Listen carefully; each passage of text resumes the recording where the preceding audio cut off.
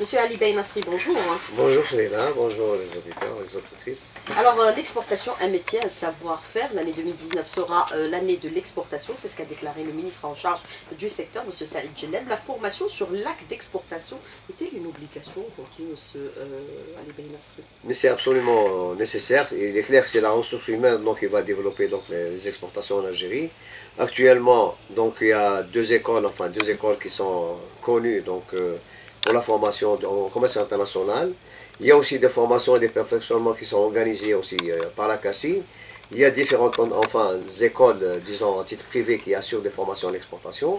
Euh, c'est bien, mais c'est nettement insuffisant parce que je pense que maintenant il faut se diriger vers un institut du commerce extérieur et notamment vers la formation donc, de licence ou de master en exportation uniquement. On avait proposé au titre de l'annexal un BTS à l'export et un Institut national du commerce extérieur chargé de former les futurs exportateurs. Alors, euh, mettre en place une stratégie sur l'exportation, sans mettre à niveau euh, les intervenants dans l'acte d'exportation, est-ce que ça pourrait donner les résultats escomptés qu'on souhaite pour que l'année 2019 soit une année de l'exportation Monsieur Ali Benassi? Année 2019, année de l'export Oui, euh, en termes de dynamisme, en termes d'accélération enfin, du mouvement de l'exportation, c'est clair, c'est net euh, ça sera ainsi. Nous sommes actuellement, nous sommes avec un ministre donc, qui parle beaucoup d'exportation, qui est en train de d'impulser une dynamique à l'ensemble euh, du secteur. Nous en, nous en réjouissons, mais en tout cas, c'est insuffisant dans le sens où maintenant il faut aller vers l'essentiel. L'essentiel c'est quoi? C'est quels sont donc les avantages comparatifs de l'Algérie, quels sont les, les créneaux, les filières? C'est vrai qu'il y a une stratégie, une SNE donc une stratégie nationale de l'exportation qui a retenu quatre filières, mais il faut aller très vite, justement, pour savoir quelle est la situation actuelle de la compétitivité des exportations du pays. Ça, c'est nécessaire. Mais si on reste sur l'aspect formation, mettre à niveau les institutions intervenant dans l'acte d'exportation, c'est nécessaire aujourd'hui aussi bien euh, les douanes que, bien sûr, les outils de transport, comme par exemple la CNAN, le NTMV, euh, Air Algérie. Est-ce que c'est important aujourd'hui? Mais absolument. C'est pourquoi je dis que la dynamique est actuellement multisectorielle. Je, euh, je fais partie d'un groupe justement qui est logé au niveau du ministère des Transports, dont une partie est chargée justement de la formation. Il faut savoir qu'au titre de, de, la logistique, le ministère des Transports a des outils, c'est-à-dire qu'ils ont une école donc de, de la, du, transport, ils ont une école aussi donc euh, au niveau de Logé, au niveau de Logétrans, au niveau de, de, GEMA, il y a une dynamique certaine au niveau du ministère des Transports concernant la formation, parce qu'ils ils, savent que c'est un, point faible de leur, maillon, et les infrastructures en elles-mêmes ne suffisent pas s'il y a un accompagnement de la ressource humaine. Mais que faut-il faire de façon concrète aujourd'hui pour accompagner également les euh, exportateurs Les exportateurs, est-ce qu'il faudrait aussi qu'il y ait une mise à niveau, une formation sur l'axe d'exportation? Les opérateurs eux-mêmes d'abord ah, absolument, ça c'est clair. Une, une, entreprise qui exporte, et c'est ce qu'on constate le plus souvent actuellement, c'est une, une méconnaissance donc de, de technique de l'export. Il y a, je vous dis qu'il y a la seule qui, qui, où il y a un perfectionnement, ou du, du moins un accompagnement directement on intra vers l'entreprise, c'est au niveau de, de la CACI, c'est financé par la FSPE, euh, ça commence à fonctionner, ce n'est pas... Mais en tout cas, il faut savoir que les grandes entreprises vont vers la formation. Les grandes entreprises ont des services export, parce que la première condition pour aller vers l'exportation, c'est de disposer justement d'un service export, parce que l'exportation, c'est un acte quotidien, c'est un acte pérenne, il faut investir là-dessus, les, grandes entreprises le font. Mais, mais, mais actuellement, beaucoup de petites entreprises qui ne savent pas, qui rencontrent des problèmes parce qu'ils ne connaissent pas donc, les différentes étapes de l'exportation. Et le marché extérieur? Et le marché extérieur, bien sûr, parce que euh, généralement, il y, a des, il y, a des, entreprises, des petites entreprises qui ont des marchés à l'extérieur, mais ne savent pas comment y aller. Et je pense que euh, la formation, l'information et la formation, ça doit marcher de pair. Mais pour prendre en charge tous ces euh, aspects logistiques et formation, est-ce qu'il faudrait aussi réfléchir à mettre en place peut-être un secrétariat d'État à l'exportation Monsieur Ali Bey Nasri, comme cela est le cas actuellement au niveau de la Turquie et de certains pays euh, qui ont réussi dans l'acte d'exportation, la France aussi qui est parmi les leaders dans le domaine de l'exportation? Monsieur Ali Bey Nasri. un secrétariat d'État. Un secrétariat d'État, c'est une proposition qui a été faite. Il faut savoir qu'en Algérie, ça a existé. Mais en tout cas, on a fait une proposition à la, au moment où l'Algérie en est dans l'Union européenne.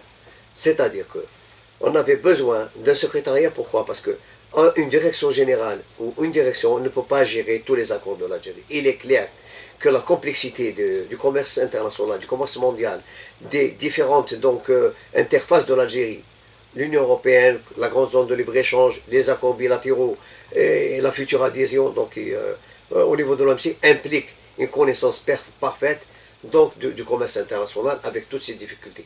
Malheureusement, il faut le dire, et je le dis en connaissance de cause, beaucoup de ministères ne sont pas dotés d'un de, personnel aussi compétent qu'on devrait du, moins l'avoir. Il est clair que la formation doit aussi commencer par les institutions. Il est clair qu'actuellement, et je l'avais, j'avais dit une certaine fois, euh, à un certain moment qu'il y avait des ministères qui étaient pratiquement dévalorisés parce qu'on ne retrouve pas la ressource humaine. Il faut revoir justement le recrutement de la fonction publique. Je pense que c'est à ce niveau. Il ne s'agit pas de recruter un universitaire, il, il s'agit de recruter un universitaire qui va avec la fonction. Et malheureusement, ce n'est pas le cas. Mais euh, bien sûr, vous parlez un peu euh, des accords euh, paraffés par l'Algérie, de l'accord d'association avec l'Union européenne. Vous avez parlé de la ZAL avec la zone de libre-échange arabe. Il y a aussi cette perspective d'aller vers la zone de libre-échange avec l'Union africaine en visant 2070. Que tout cela se prépare aujourd'hui. C'est la raison pour laquelle il faudrait peut-être mettre en place une institution chargée du commerce extérieur qui soit indépendante. Mais c'est absolument nécessaire. Actuellement, si on parle de l'Afrique, il faut savoir que quatre pays, quatre pays sont des géants dans l'Algérie. Vous avez l'Algérie, l'Égypte, le Nigeria et l'Afrique du Sud. C'est 65% du PIB africain. Nous sommes une puissance au niveau africain. Maintenant, au niveau du, commerce, je, tout le monde se réjouit donc de l'adhésion de l'Algérie donc au niveau de l'ASDK. Comment faire? Mais surtout, ne pas aller vers des accords si on n'a pas des produits exportés, si on ne sont pas en ordre de bataille, si on n'a pas la compétitivité, si on n'a pas une diversification, je pense que la tâche essentielle pour, le pays, c'est d'aller justement vers cette diversification, mais aller très vite. Très, très vite, mais aussi donner toute la liberté aux gens qui veulent investir et de le faire. Libérer l'acte d'investissement, c'est devenu une nécessité. Attirer les IDE, c'est devenu une nécessité. Je pense que maintenant, une révision de l'ALFC 2009, elle est d'actualité. Je pense que j'ai proposé même au niveau donc, du Grand École en Algérie de faire un thème justement sur l'impact de l'ALFC 2009. Je pense qu'il faudrait la revoir. Il faut, il faut aller soit dans le sens de, de, de l'histoire économique mondiale, soit on est en retrait. Si on est en retrait, on sera écrasé, ça c'est clair. Alors aujourd'hui, notre défi, c'est investir l'Afrique, être, présent au niveau régional, puisque le président l'a réitéré aujourd'hui, hier, euh, dans sa, son message à l'égard de l'Union euh, du Maghreb euh, arabe, c'est d'être et être présent au niveau continental, c'est impératif. Mais absolument. Nous sommes actuellement en voie de créer une plateforme à, Dakar, avec certaines entreprises que, que, que, je pilote. Nous sommes en train de mettre une plateforme à Dakar on, aurait besoin d'un accompagnement. Nous avons donc, le, à travers la votre consignation, nous avons l'accompagnement des douanes et nous, nous aurions souhaité avoir l'accompagnement de la réglementation, enfin du moins de, la réglementation des choses, du moins de la Banque d'Algérie. À ce sujet-là, il faut voir qu'il y a un retard considérable. Dakar, Nouakchott, c'est impératif, les plateformes? C'est impératif parce que c'est une technique donc euh, d'approche et de commercialisation. Il faut être proche du, du marché euh, local pourquoi? Parce que d'abord pour essayer donc de, maîtriser donc, le, réseau, d'avoir d'exercer un lobbying et euh, d'avoir une réactivité par rapport à la demande du marché. Alors euh, aujourd'hui, d'autres dispositions sont envisagées pour bien sûr faciliter l'exportation. On parle du statut de l'exportateur agréé qui sera mis en place. Est-ce qu'il va permettre un peu de garantir euh, de simplifier les formalités d'exportation et garantir les informations fournies à partir du moment où on a une identité précise sur l'exportateur, pas comme c'est le cas actuellement. Absolument. Quoique l'acte d'exportation est, très très facilité au niveau douanier, ça, on l'a dit, on, le redira souvent, mais en tout cas, le, statut d'exportateur agréé, quels, sont, quels seraient ses avantages? Ses avantages, c'est d'abord avoir donc euh, une, préférence par, rapport à la confiance que nous donnent les douanes.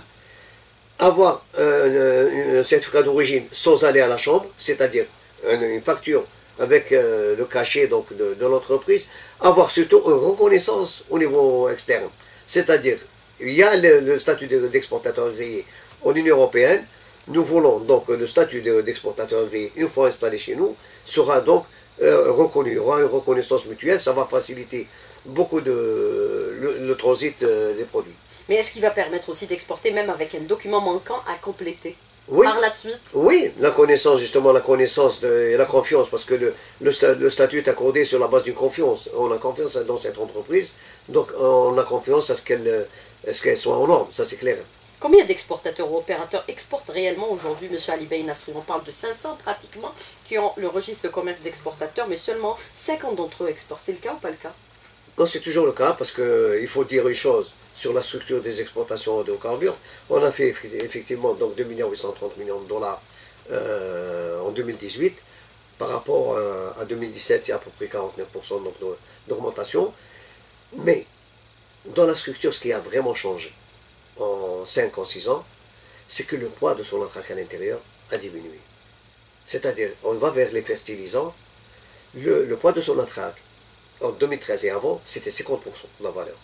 Maintenant, il ne représente que 23%. Ça, ah, maintenant, Vous voulez on- dire euh, dérivé d'hydrocarbures Non, je dis son attraque, parce que son attraque est compté, donc c'est les solvants, c'est le solvant et les aromatiques. Mais la valorisation du gaz, à travers donc les dérivés, ce que vous dites, les dérivés directs, indirects des, euh, des, des hydrocarbures, c'est-à-dire l'urée, les ammoniaques, les ammonitrates, ça, ça, ça, ça a augmenté très fortement. Par- pourquoi? Parce a des IDE, il y a des entreprises qui sont venues chez nous et c'est elles qui exportent. C'est actuellement plus milliard, de- un milliard et 200, 2 milliards 300 de, millions de dollars. Mais dans la structure des exportations, on peut considérer qu'aujourd'hui nous exportons réellement les produits hors hydrocarbures de façon concrète, M. Ali Bey Nasri Exclu, euh, exclu attraque Oui, exclu son attraque parce Et que nous valorisant, il a, il a absolument augmenté parce que je vous dis, le poids de son attraque a euh, donc, euh, a faibli à l'intérieur de, de- de ce montant-là. Il est clair que ça a augmenté parce que la valorisation du gaz, c'est aussi la valorisation d'un produit local. Alors, euh, le statut un peu d'exportateur agréé, est-ce qu'il va permettre aussi, euh, après reconnaissance mutuelle avec l'Union européenne, de faciliter le transit en Europe? Mais absolument, absolument, ça a été créé d'ailleurs, euh, c'est pas... dans ce cadre-là. Ça a été dans ce cadre-là, c'est la facilitation à travers l'identification donc des opérateurs. Ce qu'il faut retenir, c'est-à-dire que l'Union européenne va accorder à l'exportateur agricole algérien la même confiance qu'elle accorde à son exportateur agricole. Il y aura une reconnaissance mutuelle, ça va donc faciliter le, le flux. Mais C'est de gouvernement à gouvernement. de gouvernement en gouvernement. Mais en tout cas, moi je reviens sur une chose. Toutes les administrations actuellement avancent. Il y a une seule qui est un, peu- un peu en retrait, à laquelle on a fait des propositions du temps de yarhamou. Depuis 2016, nous avons fait trois petites propositions. On attend toujours le- la réponse. Vous parlez de la Banque d'Algérie. Alors, M. Ali Bey Nasri, moi je voudrais revenir avec vous sur un certain nombre d'aspects, notamment, bien sûr, l'Algérie qui compte aujourd'hui investir le continent, le continent africain auquel nous sommes, nous appartenons et auquel on a tourné le dos pendant euh, des années. Aujourd'hui, il y a plusieurs manifestations auxquelles euh, seront- sera présente euh, l'Algérie. Il y a la manifestation de la Sahara au niveau de nos frontières, le 4 et le 5 mars prochain. Est-ce qu'on peut considérer que le marché du troc est un moyen d'exporter également?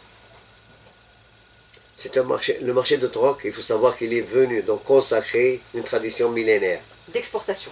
d'exportation, des, des échanges qui existent depuis mille ans. Ça existe dans tous les pays d'Afrique.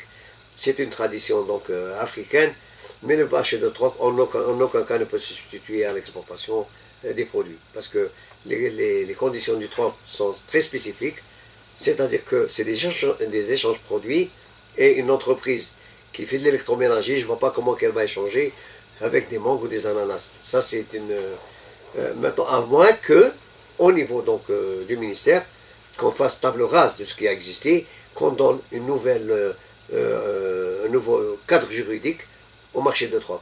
Mais en tout cas, ce n'est pas l'Afrique. Ce n'est pas, je, je dirais pas que c'est pas, c'est un marché, mais il ne faut pas l'abor- l'aborder de cette façon-là. Il y a des moyens de l'aborder comme d'autres pays, et c'est un moyen. Moi, je me rappelle que le Premier ministre, au niveau de Niamey, a dit, a dit que c'est un, c'est, un, un moyen de commerce qui est dépassé entièrement, donc éculé, donc euh, c'est pas la peine donc euh, de, d'en revenir. Mais nous sommes au béaba, nous sommes au début. Tout ce qui est bon à prendre, on le prendra, et je pense que le tri se fera plus tard. Mais comment réguler aujourd'hui le marché du troc? Qu'est-ce qu'il est lieu de faire? Il y a des pays qui ont réussi à le mettre à niveau. Comment le transformer en, en véritable marché d'exportation, M. Ali D'abord qu'on nous libère vers la frontière du Niger. Moi, je ne comprends pas une chose. Qu'on permette, avec des autorisations, de, de demander des, on est au stade des autorisations, à demander donc au Premier ministre pour aller pour exporter. Jusqu'à quand des exports? Pourquoi? Et sur quels critères on va donner une autorisation et pas une autre Li- Ouvrons tout bonnement ça s'ouvre tous les 15 jours. Ça s'ouvre sur autorisation. Soit on libère, soit on libère. Libérer, c'est donner la possibilité à chaque opérateur qui a un conteneur, qui a un camion, de pouvoir passer le poste de, notre poste de, sans formalité aucune. Tout simplement, arrêtons les autorisations. Mais il y a des considérations sécuritaires qui priment actuellement en raison bien sûr de la stabilité de certains pays qui nous entendent. Mais comment aujourd'hui transformer ce marché en un véritable marché d'exportation? Un marché. Oui, il faut d'abord le, préalable, les prérequis. C'est quoi? C'est d'abord signer des, accords. Un accord commercial et en attendant la ZLECA, rien ne nous empêche d'avoir des accords avec les espaces multilatéraux, notamment avec le, marché limitrophe qui est la CDAO qui comprend 15 pays. Ça, c'est une condition sine qua non. Il y a aussi... Pour une connaissance des marchés et une traçabilité de nos produits oui, pour l'exportation. mais aussi donc une compétitivité à travers donc une réduction des droits de douane. Il faudrait donc, un, aller vers, immédiatement vers des accords. Deux, signer donc tous les accords qui concourent, c'est-à-dire les concours, euh, c'est-à-dire les accords sur le, ce qu'on appelle la, protection des marques, un accord sur les investissements. Donc tous les accords qui, doivent lier commercialement des pays, il faut qu'on les signe et le plus tôt possible. Parce qu'aller vers ces marchés-là, vous savez qu'il y a un problème donc, de compétitivité, il faut qu'on accède avec des tarifs préférentiels. Un. Deux, il faut qu'on nous permette d'aller nous installer dans ces pays et d'aller investir dans ces pays-là. C'est des pays désindustrialisés, il faut qu'on aille investir, il faut qu'on nous laisse investir. ça, c'est le, ça, c'est le du commerce international, c'est le BABA donc, de l'économie mondiale. Il ne faut pas qu'on reste en retrait, il ne faut pas qu'on reste figé. On est resté figé, on n'est pas resté figé parce qu'en 90, on permettait beaucoup plus, le règlement de, la réglementation des choses permettait en 90 beaucoup plus de moyens et de facilitation qu'aujourd'hui. On a fait une marche arrière carrément. Donc, pourquoi cette marche arrière? On ne comprend pas. Des propositions ont été faites au gouverneur de la Banque d'Algérie avec Barthélémy Hamou à ce jour, trois petites propositions. Qu'il y ait les grandes, qu'on comprenne qu'il y ait une décision politique. Mais trois petits articles au niveau des règlements d'échange. Deux ans, on n'a pas de réponse. Comment voulez-vous avancer? C'est pas possible. Qu'on nous dise au moins non. On voilà, vous restez là où vous êtes et vous n'allez pas. Alors, pour avoir aujourd'hui pardon, une visibilité, une connaissance des marchés extérieurs, notamment les marchés des pays limitrophes, vous avez parlé de la CDEAO qui comporte bien sûr 15 euh, pays. Est-ce qu'il va falloir aussi transformer le rôle aujourd'hui d'Algex et de la SAFEX qui doivent jouer ce rôle-là, puisque euh, le ministre actuel, euh, Saïd Jeleb, l'avait déjà annoncé, le changement des statuts d'Algex et de la SAFEX. C'est la SAFEX qui va aller vers l'exportation, pour accompagner l'acte d'exportation. Le problème fondamental, ce n'est pas une question de statut c'est une question d'hommes et de ressources humaines. Vous pouvez avoir le meilleur statut du monde. Si vous avez des hommes non qualifiés, ils ne vont, ils vont pas faire marcher, marcher donc, euh, la roue. Ça, c'est clair et net. C'est le cas actuellement, M. Ali Ben Nasri, puisque vous le dites? Oui, moi je reproche justement au statut de la fonction publique. Vous recrutez dans une agence, dans une agence immédiatement commerciale euh, un, un, enseignant ou un titulaire d'une licence islamique. Ça, c'est pas possible. Donc, revoir le statut de le, je ne le reproche pas aux gens de, qui ont une essentiel islamique, mais en tout cas, il est préférable et plus rentable de recruter un diplômé donc de, de HEC ou d'une école de, supérieure de commerce ou de l'institut de commerce qu'un gars qui est très loin de la fonction. Le temps de comprendre, il peut, pas partir en retraite. Donc ça, c'est fondamentalement, on a besoin. Le grand drame chez nous, c'est justement cette, cette indigence dans la formation. Euh, il y a beaucoup de d'instituts qui forment. Et je, citerai un cas, l'Institut national d'agronomie, qui forme des milliers de jeunes, qui partent dans des champs. Ça, c'est inacceptable. La Terre a besoin d'eux. Imaginez des solutions, mettre en place des incubateurs, des start-up. Il faut que le, ministère de l'Agriculture, en ce sens, bouge, qu'il aille vers des solutions dynamiques, audacieuses. Il ne faut pas attendre un feu vert qui vient d'en haut c'est pas la présidence qui décide, c'est les ministères qui ont en charge. Moi, je crois à ça. Moi, j'ai eu en face de moi des ministres qui étaient qui appliquaient donc les décisions, on leur remet conscience. Et personne ne leur reproche. Parce qu'ils sont guidés par un seul intérêt, c'est l'intérêt du pays. Quand vous avez un responsable qui agit, il a peur de ça ou il a peur de ça, on n'ira pas loin. Alors, euh, des questions des auditeurs ce matin, M. Ali Bey Nasri, qui sont euh, très nombreuses. Certains, aujourd'hui, disent que nous n'arrivons pas à exporter, que les chiffres, aujourd'hui, sont dopés par rapport, pour faire croire réellement que nous exportons. C'est le cas ou pas le cas, M. Ali Bey Nasri, puisque vous, connaissez, euh, vous connaissez l'exportation depuis son début, et vous êtes à la tête, bien sûr, de l'annexal depuis quelque temps déjà. Vous étiez, bien sûr, membre. Six ans, Voilà, et maintenant, vous êtes président depuis six ans, et vous avez pratiquement une centaine d'adhérents. Oui, les chiffres, personne n'a intérêt à doper des chiffres. Parce que, écoutez, lorsqu'on importe ou on exporte, nous avons des, indices à l'extérieur. Ce n'est pas nous qui enregistrons. Mais, même si je veux savoir qu'est-ce que l'Algérie exporte l'Union Européenne, je vais donc dans le, dans le, dans le site donc de TradeMap ou de le site de l'Union Européenne, j'ai absolument toutes les exportations. Il n'y a pas. Ce qu'il y a, c'est qu'il y avait une confusion. Il y avait une confusion, c'est-à-dire entre les chiffres émis par la Banque d'Algérie et les chiffres émis par le CNIS. Le CNIS considère les exportations, donc hors pétrole brut et hors gaz brut, comme étant des dérivés, et c'est inclus dans le chapitre 27, et le CNIS les inclut. Je vous donne un petit exemple. Au 30, euh, au 30, août, au 30 août, on avait donc 2 milliards 78 millions enregistrés par le CNIS. Et vous avez donc le gouvernement de la Banque d'Algérie qui parle de 1 milliard 600. Tout simplement la différence, c'était la valeur exportée par son attract. Parce que la Banque d'Algérie exclut le compte son attract de la valeur en, en Mais pour le reste, personne ne dope, ne dope quoi que ce soit. Il y a des chiffres, euh, des, chiffres d'autres sources qu'on peut vérifier. Réels, c'est des chiffres réels. Réels. Alors, euh, les Algériens sont capables d'exporter à condition de ne pas rendre l'acte d'exportation administratif. C'est le cas actuellement. Administratif, je pense que... Il y a eu des allègements. Et absolument. Moi, je pense, je pense que de, la conduite de l'exportation, dans la conduite, que je dis bien dans la conduite, à, la seule condition que l'entreprise soit plus ou moins en ordre, qu'elle connaisse les, étapes, il n'y a absolument aucun blocage administratif.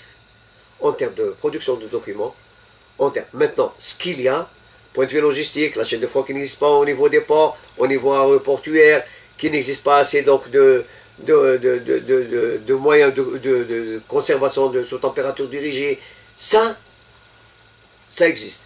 Avoir de la disponibilité de fret, oui, ça existe. Les problèmes macro, ça existe. Mais en interne, le cheminement des produits physiques ne pose absolument aucun problème, soit au niveau des, des autorités portuaires ou aéroportuaires ou, ou douanières. Alors, le transport maritime, que faut-il faire aujourd'hui de façon concrète, monsieur Ali Bayounasri, puisque le NTMV a été totalement déstructuré Maintenant, on est en train de reprendre avec l'acquisition d'une nouvelle flotte.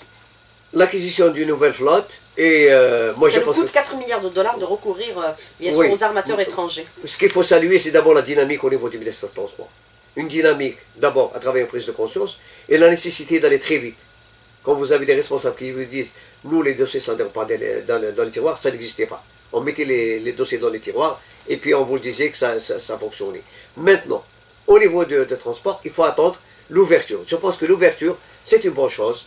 L'ouverture vers le privé, ça va apporter donc une réponse directe et très rapide pour euh, justement prendre en charge l'aspect donc euh, le transport du, des produits algériens. Mais que faut-il favoriser dans un premier temps, le maritime ou l'aérien, puisqu'on parle aussi de transport cargo? Euh, C'est un, rapport, c'est un rapport Écoutez, ça c'est un rapport entre la valeur du produit. C'est la valeur ajoutée du produit.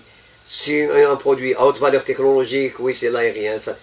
Allez, la pomme de terre par avion, ça n'existe pas.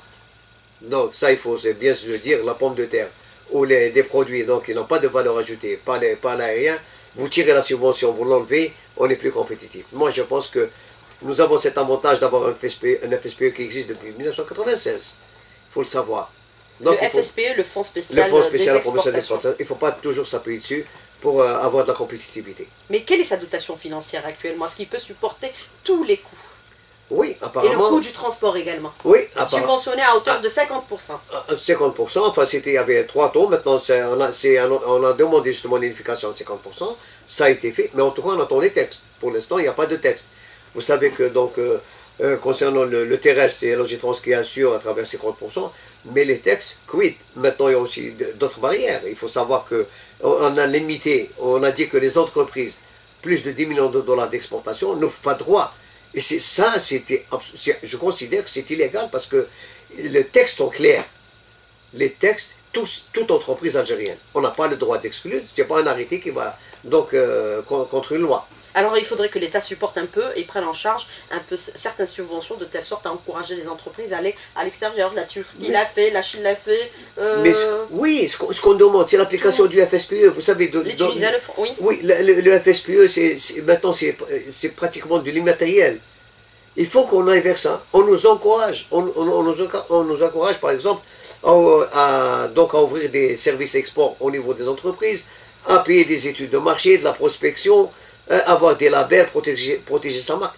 Mais sur le terrain, la crétologie n'existe pas. Quand vous allez, donc vous dites, moi je veux recruter une personne, l'FSPE, même l'implantation commerciale à l'étranger, elle est prise en charge. Mais vous avez là deux contradictions, deux choses qui, vont à, chacune à l'encontre de l'autre. C'est justement la réglementation d'échange qui nous, pratiquement nous l'interdit de fait, et le, le, FSPE qui nous dit, allez-y, nous on vous aide. Ouvrir une représentation bancaire à l'extérieur, c'est important, puisque la BEA, normalement, devrait s'installer prochainement et, euh, en France d'abord, dans un premier temps, monsieur Ali euh, non, non, en France, c'est pour capter. Non, c'est un début. Pour nous, c'est pas. Je ne dis pas que ce n'est pas un marché. C'est une bonne chose, c'est un début. Mais il ne faut, il faut pas l'aborder. Il faut savoir que posséder la finance, c'est posséder notre économie dans le pays. On ne l'a pas compris. Externaliser Écoutez, externaliser, on l'a demandé, comme on dit, euh, depuis tout le temps. 30 pays, actuellement, notre voisin de l'Ouest, il est présent dans 30 pays africains. 30 pays dans lesquels il domine la finance. Avoir la finance, c'est avoir l'économie, c'est avoir les acheteurs, c'est avoir la garantie de paiement, c'est avoir tout, le lobbying nécessaire. C'est ça. Nous, on reste. On a, entre l'année dernière et cette année, on a eu un milliard de dollars, comme ça, euh, en plus. Exportation en hydrocarbures.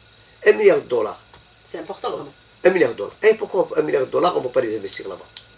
Pourquoi? C'est venu comme ça, parce qu'il y a eu variation, donc il y a une augmentation donc, euh, des exportations de certaines, notamment des, de l'urée et des ammoniaques. Un milliard de dollars. On n'attendait pas. Nous avons des rentrées d'argent qui sont aléatoires. On ne peut pas utiliser une partie pour aller investir là-bas. Allez, on mise 4 milliards de dollars ont été euh, investis par nos voisins. 4 milliards de dollars. La Chine est le premier investisseur. Et nous qui sommes là présents, on dit que c'est notre profondeur stratégique. Hein? On regarde les gens passer, la caravane passer, et nous on est là, on applaudit. Alors euh, justement, euh, une externalisation de la Banque d'Algérie, c'est important aujourd'hui. Est-ce qu'on peut considérer que nos entreprises ont atteint la taille critique de telle sorte à inscrire l'exportation dans leur stratégie de développement? Certaines d'entre elles notamment Oui, absolument. absolument. Seulement quelques-unes? Absolument, il y a une dizaine qui, ont inscrit, donc qui sont, qui sont inscrits euh, d'une manière très franche à l'exportation. On les voit, ils sont toujours là, ils sont toujours présents. Leur chiffre d'affaires augmente d'année en année. Elles sont là pérennes. On pas, ils n'ont même pas besoin du FSP parce qu'il ne marche pas. Mais quel est le produit qu'on exporte le mieux actuellement, M. Ali Beynasri C'est plutôt la date. Le produit agricole c'est la date. 90% c'est la date. Mais il faut savoir une chose. Alors, la date, la date, on est passé de, euh, en 5 ans, hein, en 5 ans, on est passé de 14 millions de dollars, nous sommes à 50 millions de dollars. Donc c'est un produit qui a été multiplié par 3, donc euh, en 5 ans seulement. Ça, et, la valeur pour moi, elle est tout à fait relative. Moi j'ai fait beaucoup plus une analyse en volume. En volume, ça a été multiplié par 7. Mais euh, hors, bien sûr, euh, produits agricoles, le produit qu'on exporte le mieux actuellement, M. Ali Ben Nasri Donc vous avez les produits agroalimentaires, vous avez donc le, premier poste, c'est exactement donc c'est le, sucre. Le, produit ah, en agro, hein, vous avez donc le sucre, vous avez aussi les, huiles, vous avez le, beurre de cacao, vous avez le kharoub, enfin la poudre de kharoub. Tout ça, c'est actuellement les, postes les, plus importants donc, à l'exportation agroalimentaire. La pomme de terre arrive en deuxième position, mais comment se fait-il aujourd'hui, monsieur euh, Ali Bey Nasri, que la Tunisie est considérée comme premier exportateur mondial de dattes, alors que nous sommes considérés aussi parallèlement comme premier pays producteur de dattes Écoutez, c'est la, labellisation. Oui, beaucoup de choses. D'abord la labellisation, aussi on travaille en normes. Le producteur On parle de réseaux informels qui, bien sûr, euh, euh, font acheminer la date algérienne vers la Tunisie, qui est labellisée, bien sûr, Degletno. Nous, c'est devenu Degletno d'Algérie. Maintenant, il y a maintenant un stade plus sophistiqué. Maintenant, la, date ne va plus vers la Tunisie. Maintenant, certains, les Tunisiens, voyant en Algérie, voient des, des, exportateurs de date, ils leur disent, écoutez, envoyez vers X. Donc maintenant, c'est de l'exportation indirecte. Parce que maintenant, faut... in Tunisie alors que c'est produit algérien. Mais c'est produit algérien. Vous savez que dans, si son premier exportateur, Ce n'est pas le fait euh, du hasard. C'est exactement ce qu'il faut faire. Il y a la chaîne du producteur au conditionneur exportateur. Les, les, exportateurs de date en Tunisie sont en normes HACCP, IFS et BRC, c'est-à-dire toutes les normes leur permettant d'accéder aux grands magasins, aux grands, aux grands marchés. Nous, malheureusement, on n'a pas compris ce chemin. Il faut le faire. Alors, autre question de l'auditeur qui vous dit aujourd'hui, est-ce qu'on peut considérer qu'on peut exporter encore davantage de pommes de terre et quelles seraient les destinations euh, d'acheminement? La Russie essentiellement, est-ce qu'il faut aller vers d'autres pays que euh, les pays traditionnels?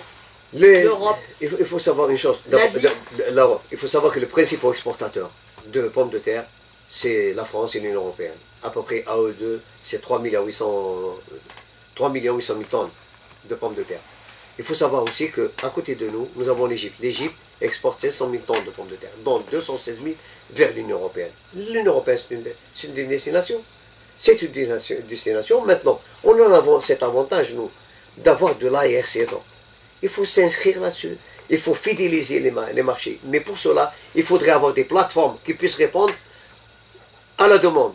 La réactivité, elle est importante. Être présent au niveau des foires aussi, c'est important. On a vu la présence algérienne fortement représentée dernièrement à la foire euh, de, de, Berlin en Allemagne. Il y a eu aussi aux États-Unis, on parle d'exportation massive à partir de juin prochain.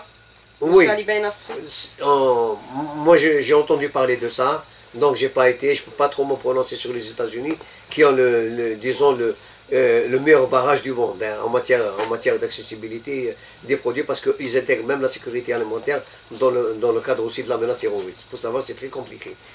Mais en tout cas, nous avons des marchés proches. Nous avons des marchés captifs. Nous avons un marché communautaire en France. On est absent. 92% des exportations agricoles marocaines et tunisiennes vont vers l'Europe. Pourquoi voulez-vous qu'on aille ailleurs? Là où le pouvoir d'achat n'existe pas. Monsieur Ali Bey merci d'avoir répondu à nos questions et d'avoir été en direct avec nous ce matin dans le studio. Merci beaucoup, bonne journée. Merci à vous.